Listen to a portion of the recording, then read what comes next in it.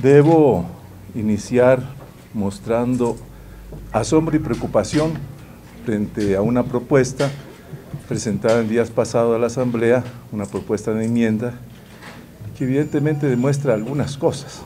La primera, desconocimiento de la Constitución.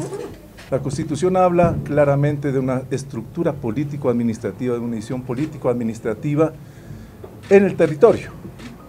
Y hablamos obviamente del país, de la nación como tal, de la provincia, del municipio y de la parroquia, como una división político-administrativa. Pero la Constitución claramente define que cada espacio del territorio tiene su propio nivel de gobierno, es decir, el país con su gobierno nacional, la provincia con su gobierno provincial, el municipio con su gobierno municipal y la, junta, y la parroquia con su gobierno parroquial. Esta propuesta de enmienda, al señalar que los prefectos deben ser electos solamente por el sector rural, atenta contra la Constitución, puesto que está reformando la estructura del Estado.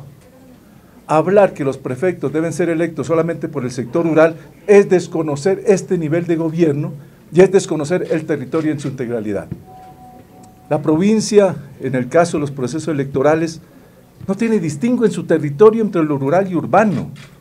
El territorio es integral y la población urbana y la población rural componen el territorio en la provincia.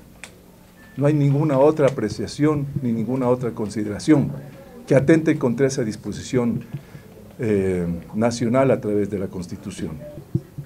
Diría que es mala fe porque se quiere atentar contra la unidad profunda que tiene el país en este momento y que evidentemente no lo van a poder hacer.